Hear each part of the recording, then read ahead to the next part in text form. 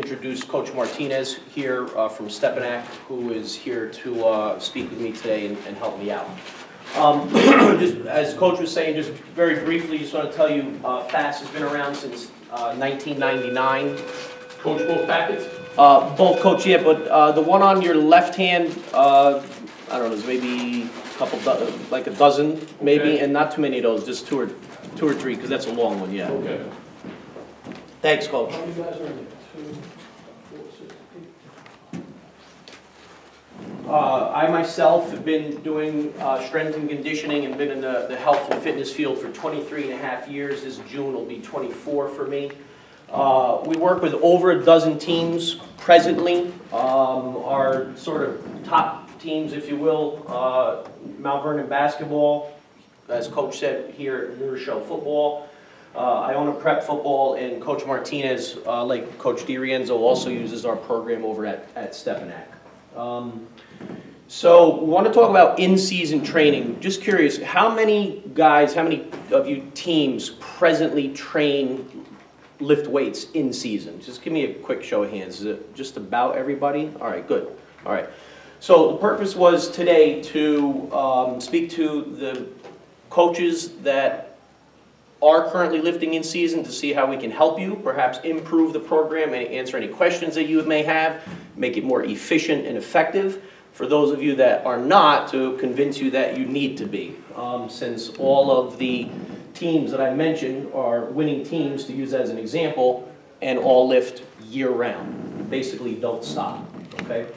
A little background on the training methods first. Um, I always like to say none of these methods are our own. FASST, we didn't make these methods up. Everything that I'm reciting and regurgitating to you comes from the leading sports scientists in the world. Uh, I'm going to talk in particular about Westside Barbell, uh, Louie Simmons, and for example, his book of methods, I'll have the website and so forth.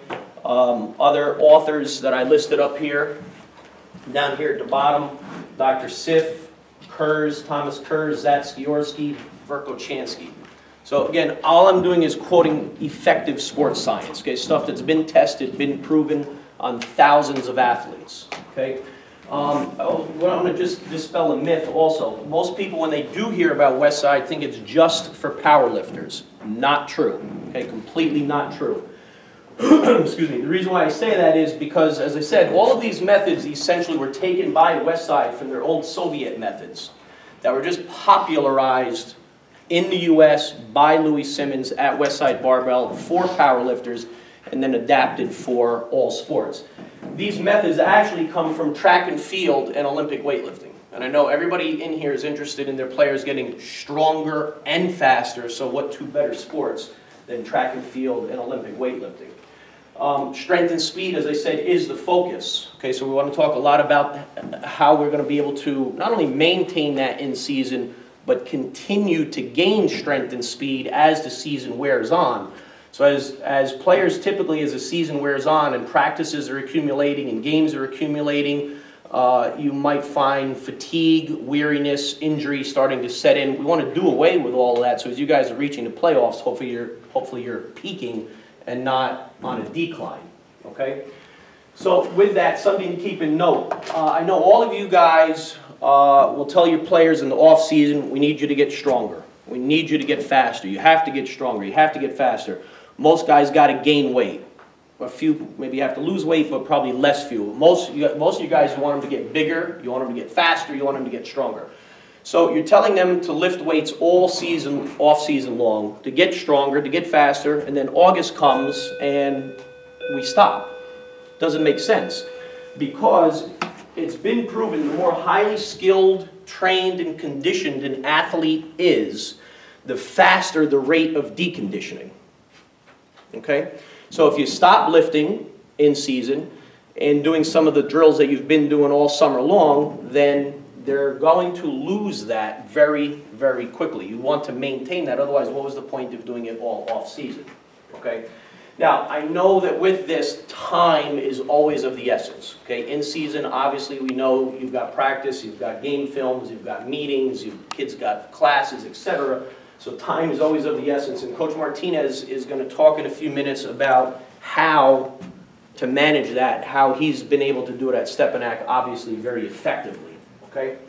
So, just a little bit uh, back again on the methods, because these methods continue all year, that's the point. I want to help you to see how the off-season program and the in-season program actually don't differ all that much as far as the actual exercises that we use, the methods that we use.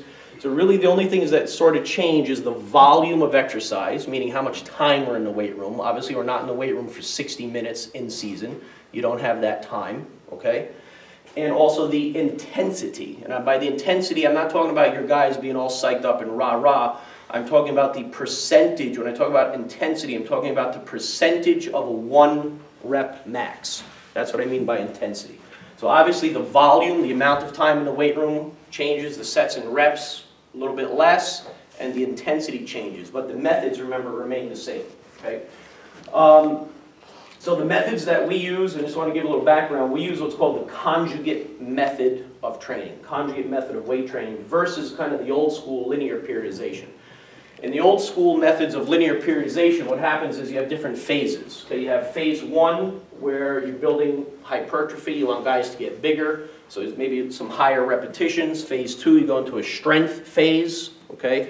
So the typical, the repetitions come down, the weights start to go up, and then you get into phase three, your power phase, where you start to use heavier weights with even lower repetitions. And these phases can last anywhere from two weeks to eight weeks, depending upon how you set your program up. But the point is, remember this. Okay, the stronger an athlete, the more well-conditioned, when you change phases and leave your hypertrophy phase to go into a strength phase or leave your strength phase to go into a power phase, within two weeks of switching phases, you've lost what your players gained in the first phase. Okay? What we're able to do with the conjugate method is all three of these phases work into what we call one microcycle, one week's workouts. Okay? We do all three phases within the setup, within the programming of one week, and in some cases even within one workout. So we're able to maintain the gains that we've gotten all off season, and even hopefully build upon them because ultimately there is no such thing as maintenance. A lot of guys are lifted, oh, we got to maintain the strength. No such thing. You're either get, your athletes are either getting stronger, and they're getting faster, or they're getting weaker. There's really no such thing as maintenance. Okay, there's no middle ground. It's one or the other. Okay, so we want to be able to continue to build upon what you guys did in the off season right through the in season in less time. Okay, always keeping that in mind. Okay. Um, so with that, how do we do that? And again, Coach Martinez is going to get into this stuff. He's going to give you an example of a workout. He's going to give you an example of the schedule. I'm just talking right now about the methods and so forth, okay? Oh, and one other thing, please ask any questions. I want to make this more informal and interactive, so if you have a question, don't hesitate to interrupt me, okay? Just stick your hand up and we can talk back and forth, okay? Um, for one, I want to talk about the max effort, okay, explain off-season for one second. Max effort, building absolute strength, is the greatest method for training athletes. We max every single week, every week. And in fact, twice a week. Once upper body, once lower body. Now, right away, people are always going to say, well, how is that possible? How do you do that? That's impossible. And the answer is by switching or rotating the exercises every week. So I'm not asking guys to bench press, bench press, bench press. Every week in the upper body, as an example, we might do a flat bench, we might bench to boards, we might do an incline, a decline, a military press. They rotate. And by rotating the exercises, we are able to max every single week and avoid what's called the law of accommodation. So if I had them bench press every week, they would accommodate to the exercise. Perhaps injuries start to develop in the shoulders from overuse. But by switching the exercises, we can max every week and help develop absolute strength. Okay? Now, remember I said that the max effort is the most important uh, method for athletes. How come? Central nervous system. When you guys practice at full speed, especially on Saturdays or Friday nights when you have games, a game is a max effort, obviously. You want 100, 110% out of your guys. Okay? That's a shock to the central nervous system, a stimulation to the central nervous system. When we max effort, what we're doing is not so much training the muscle system as much as the nervous system's ability to recruit the maximum number of muscle fibers that we need to do a lift or participate in our sport. Okay? And remember that by rotating exercises, we're able to do that because every stimulation to the central nervous system each week is different than the previous week. Okay? Questions on that? That's an important one. Okay, the other methods, I'll just go through real quick, and I can talk more about max effort afterwards if anybody has any questions. Dynamic efforts, essentially the, uh, I'll call it the opposite, just to put it in simple terms. This is where we're using submax weights and trying to develop a high rate of force development. Okay, so we're using lighter weights, submaximum weights, and trying to move them as fast as possible. Repetition method, high reps are trying to build mass, hypertrophy. Football players need to be bigger than most athletes that are walking around your schools.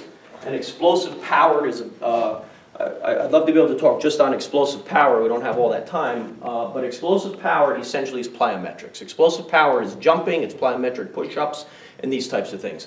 Olympic weightlifting, fellas, is not explosive power. Okay, I don't have time to go into full detail about that. We can talk about that if anybody has any questions afterwards. But explosive power training, plyometric training is jumping, and we do that in season as well.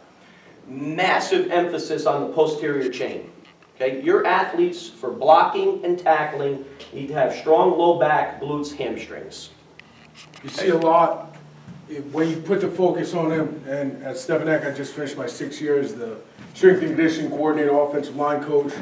Um, we focus a lot, you know, we put a lot of emphasis on the lower back, hamstrings and glutes, increase their speed, but also decrease a lot of hamstring injuries you see, because a lot of people in their methodology, they train focusedly on the hips and the, and the quads.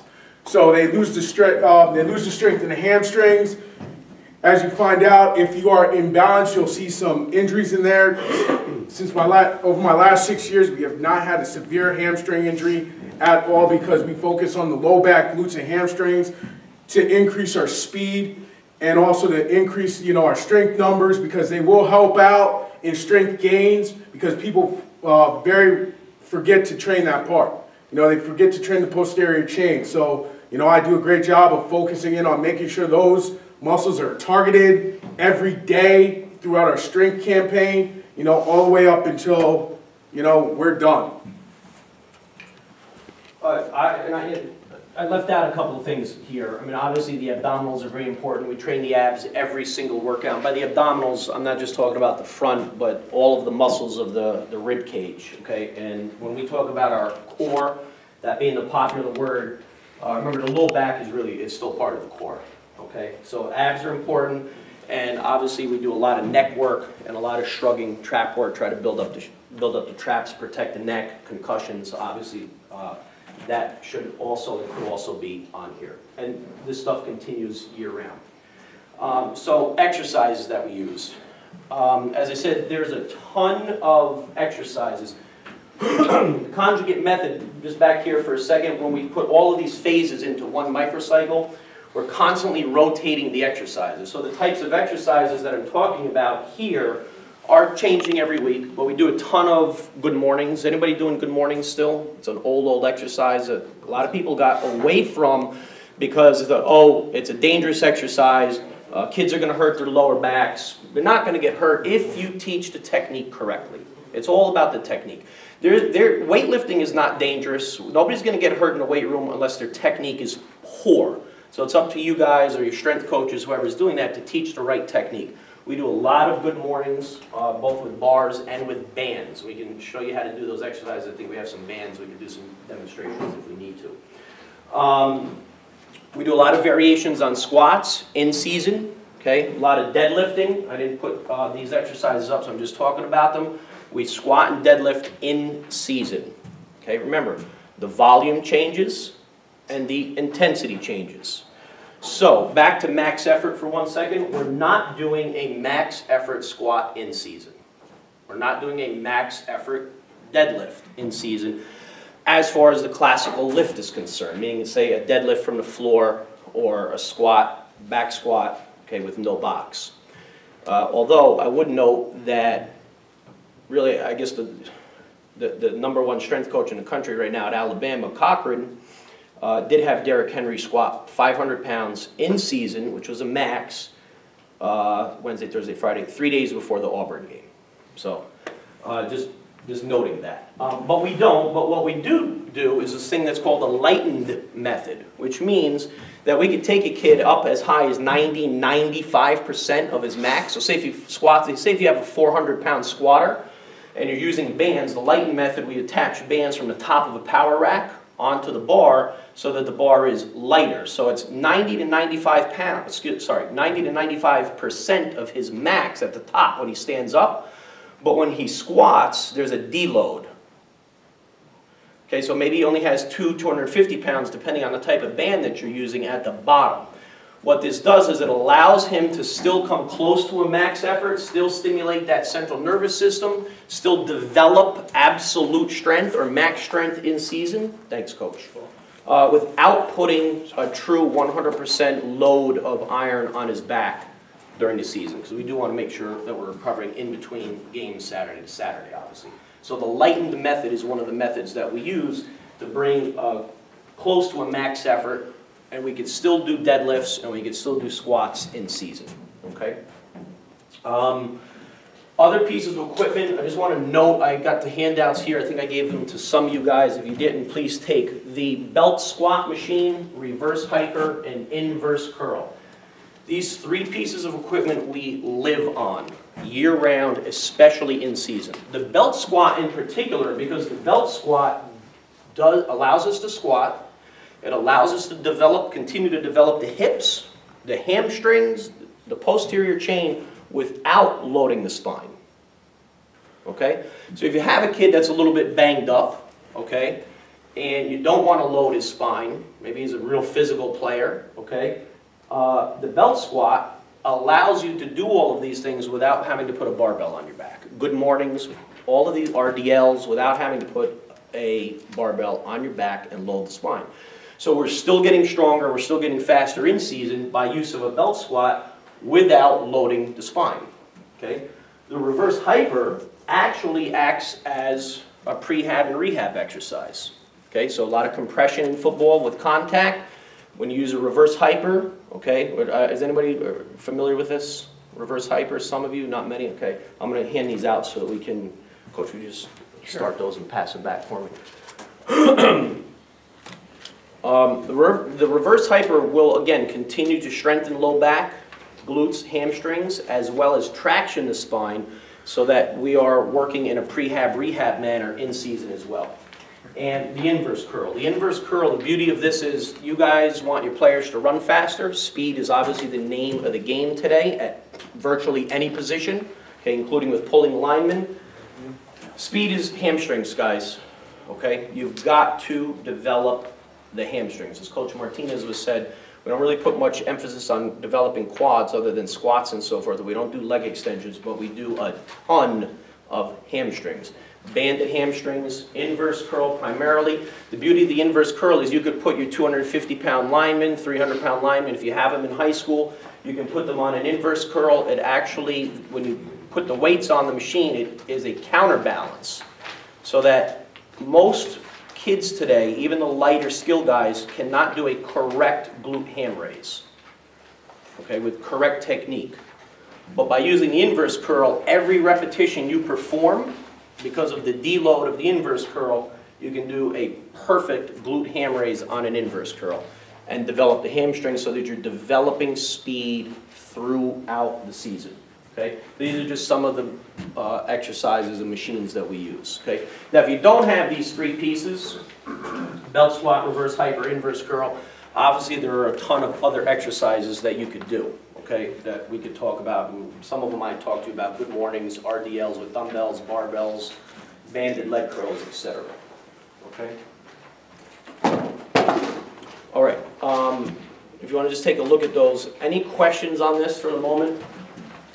Yes. Are you, are you using like, uh, like, how do you start with the amount of reps and the, or is it constantly changing? It's constantly changing, okay, it's a good, good question, and remember, what we, what I'm, hopefully I'm, I'm getting across, if I'm, I'm telling it correctly, is what we do in the off-season, or what we begin now in January, let's say, carries forward into a yearly plan, okay, it's a yearly plan. So it carries forward, as Coach Martinez is gonna show you in a moment here, into camp in August, and then throughout the rest of the season, okay, as he has his summer camp schedule, and we have an example of one workout here. So everything carries forward. So that when he starts to explain, let's say, for example, on a Romanian deadlift in RDL, 70%, you've already established what that 70% is because you've done an RDL max through the summer, so we have that number. Okay, so then we're able to set the sets and repetitions based upon that because everything's been established in the off season. Okay. And how do you, how do you start out with, for the younger guys? Like, how do you get Oh, that one rep max? what you do, and, um, it, it's kind of, what I start is, I work on waves. I do a five rep max wave, and then we kind of scale it down. Five rep, on week one, we'll do a five rep max, then we'll come back, week two, three rep max, and week three, we'll do a two rep max, so that those younger guys, by week four, we've already coached them up, and they kind of have an idea we're not going to one rep max those young guys right off the bat. We'll kind of gradually grab, you know, graduate them in to maybe week four, week five. We're looking at a one. They'll know, and we'll get a one rep max number. From Thanks, Coach. Did I answer your question, Coach?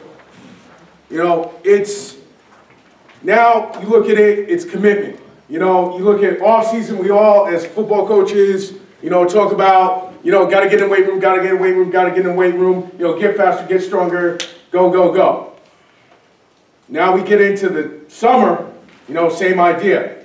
Now we're getting into practice. You know, what do we do? Because we're so committed on our craft of getting our kids ready to go, ready to play, ready to, you know, be successful in the season. This is where you have to have a conversation with your staff. You know, I am lucky. I might, you know, I work for one of the best head coaches around, Coach Michael O'Donnell. And when I came aboard six years ago, as the offensive line strength and conditioning coordinator, you know, we had a conversation about how do we get to that next level? How do we take our program to that next level? And in our staff meetings, we said, well, we need to lift. We need to do what we're doing in the off season, and we need to continue it. So we said, how?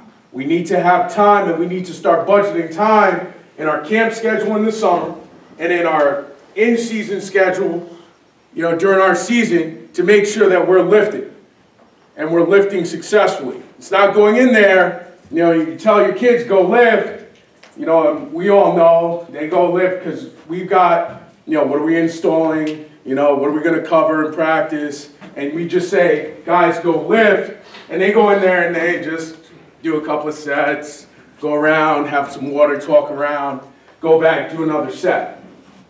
So we made it as a staff, we said we need to get in there, we need to get after. How do we do that and fit it in our deck? Well, in camp, okay, we come in, okay, our kids come in day one. They come in at 8 o'clock, anywhere from 8 to 8.30. We tell them you got to show up by 8.30, so they come in. At 8.20, you know, we do roll call, all right? We take attendance. If there's any, you know, things we need to communicate with our kids, that's the time we do it. 8.30 to 8.40, uh, actually for, for an hour, like 8.30 to 9.30, we go out in the field, we do sprints. Um, we do what we call metabolic training, we do conditioning circuits, we push the sled, we flip the tire, you know, we, we do bounds, we do all that stuff. So we got an hour in there, you know, that we could get it done. We come back, we go on break, you know, kids get a chance to go eat breakfast. Us coaches can sit and talk about what is the plan ahead. And from 9 or from 10 to 11, okay, we split it up. Okay, our linemen, O and D linemen are one group, our skills are another group. So what we do is from 9.30, or excuse me, from 10 o'clock to 10.30, one group will go lift in the weight room. We get in there, we monitor them, make sure they're getting after it, while the other group is meeting, installing that day. Whatever we're putting in that day, that's what we're doing. So we're in there for about 30, 45 minutes, then we switch. Okay, so then whoever's in the meeting gets a lift in, whoever's in the lift goes to meeting and install. Okay?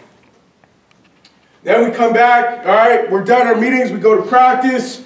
Okay, we take a break for lunch, we come back, have some more meetings, we practice again. That's the day. All right, that's our camp day.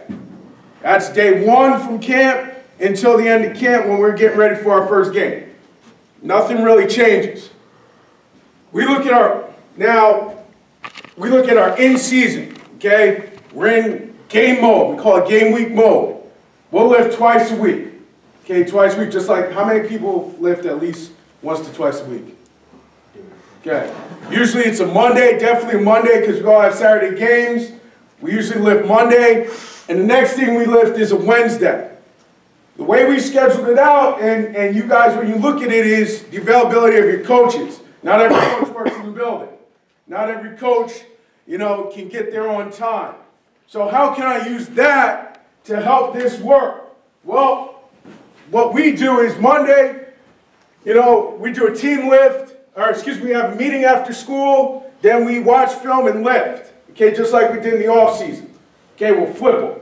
All right, one group lifts, one group watches film, then we switch. Then we'll, you know, go outside, have, you know, that typical, prototypical Monday practice, and then the day's over.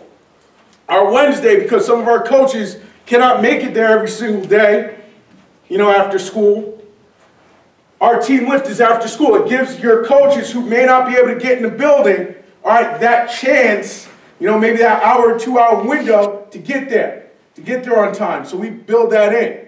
Okay, so we come in on a, you know, usually it's a Wednesday, you know, we'll get right after school and the whole team will lift. We'll bring everybody in the weight room and we'll get after it. All right, and we're looking at only, you know, at the most 45 minutes. That's all we have budgeted. But we made a commitment as a staff to use the weight room to be successful. That's how we get there in over our six years, you know, since I started in 2010 to where we ended up this year, you know, we've really changed the culture of the program. The program lives and dies in the weight room. And you ask any of our kids, and they look forward to it. If I have to close it for some strange reason, they're ready to, you know, kill me because they want to get after it. They want to get better because they know what you do in the weight room translates to what happens on the field. You know, we are successful because we can walk out there and know that we get it done. Now, what happens in the weight room? Okay, so I got I got these these you know 30 45 minute segments, you know, whether it's in camp or in season. Well, you know, first thing we do is some type of they come in, they know right away. First thing you do is ask. Okay, I write these workouts on the board. If you have a board, just write them out. If you give out sheets, give out sheets. I've done it both ways. Okay, make them be accountable. Great way to make them be accountable is, you know, print out your workout, give them sheets, make them write their name on it, make them fill it out. Because we all know kids in season, they don't want to lift. They don't want to do anything. But if you make them write it out, well, you're, you're holding them accountable. You know, and that's, that's the big thing. The weight room in the, in the preseason and in the in-season is all about being accountable. Okay? So they know right off the bat they're doing 200 reps of abs. Then, you know, sometimes we have some what we call, what I call prehab exercises. Whether it's, you know, like Coach Pete talks about, you know, the hyperextension at the beginning, where we're using submaximal weight to really get our bodies, you know, prepared for what's happening. You know, I like to do a lot of single leg exercises, you know, stimulate, you know, the neuromuscular system and stuff like that. And it's just real quick. It's not, I don't have time. You know, if you look at our off-season lifting, it's a whole lot more detailed than our in-season. Then we go right into back squat, okay? Just like we talked about, I'm not looking to get that one rep max, but I'm looking to get them to work and maintain what they have. So we'll do what we call a five rep heavy effort, you know, where they're attacking the bar for five reps. Then we'll come back and do some type of Romanian deadlift, you know, six sets of three. I'm not trying to get volume. You know, I'm not trying to push them to their limits. I'm trying to maintain them. Okay, so when we step on the field, we start August 21st, I want them to be the same all the way up until we went to Buffalo. We were training that, you know, that Wednesday before Thanksgiving. When we went up to the state championship, we are getting in there still lifting. We didn't, we didn't skip a beat. You know, we played our championship game against Hayes. Monday we were lifting, and Wednesday we were in the gym. It doesn't change. So you look at it right up until we were playing our championship game, we were still doing this type of stuff. You know, we go to hyperextension, strengthen our lower back. You know, we'll do three sets of 15, working on that hypertrophy phase. You know, single leg step ups, half your body weight. You know, just stuff to get them going, get them accountable, you know, and maintain it. And they'll see it. You know, because at the end of the day, you know what this helps? This is all about? Fourth quarter. Fourth quarter. Are you still stronger? And do you still have the ability to keep going after? Okay, because in the fourth quarter, if you don't, you do great, and then you start slowing down. You know, we wanted to be the opposite. In the fourth quarter, we wanted to keep going. And there's nothing, you know, you look at our kids' eyes and they start understanding, you know, in that fourth quarter when those two and three yard gains turn into five, six, seven, ten, we start moving the ball, we can end games because of what we've done in the weight room. And it's great for the kids because they get pride. They love it. They love it. Coach, anything else? Coach, any questions? Yeah. And- And I've been doing this a while, but could you just go over the difference between a Romanian deadlift and a stiff-legged deadlift? Uh, uh, There really isn't one. They're Okay. essentially the same exercise with just different language. Um, We don't really do a stiff-legged deadlift. The correct technique of an RDL slash stiff-legged deadlift is with a slightly bent knee. So it's an RDL. Uh, The main thing, though, is to make sure that the hips are being pushed back. You're not bending over so that there's a curl in the spine. You've got to push the hips back so that we're loading the glutes and hamstrings. I That's teach the them idea. butt to the wall. Yeah. So if, if I'm standing up, I'm not bending over at the hips. I'm telling them take your butt and touch the wall. So as my butt drives back, my back stays straight, and I'm I feel it right now. And I have nothing, no weight on me. I feel it right in my glutes and my hamstrings, and I'm really loading them. So when I come through, I'm teaching them to squeeze at the top.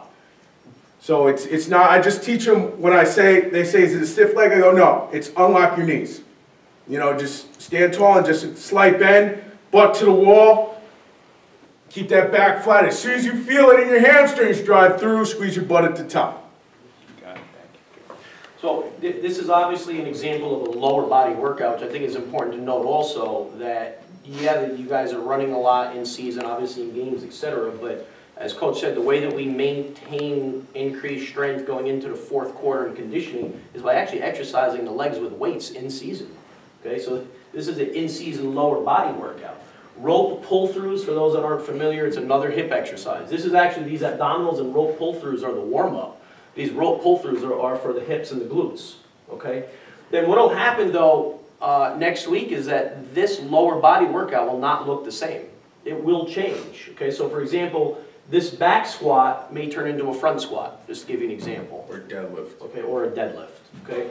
This Romanian deadlift may be there, but the percentage might change from seventy percent to seventy-five percent, still at six sets of three, okay? Because we use three-week waves, I don't want to get into too many details, but uh, Coach Martinez did not make up six sets of three, just so you know, at seventy percent, we use something I suggest all of you look up, if you're doing this stuff on your own, Prilipin's chart, okay?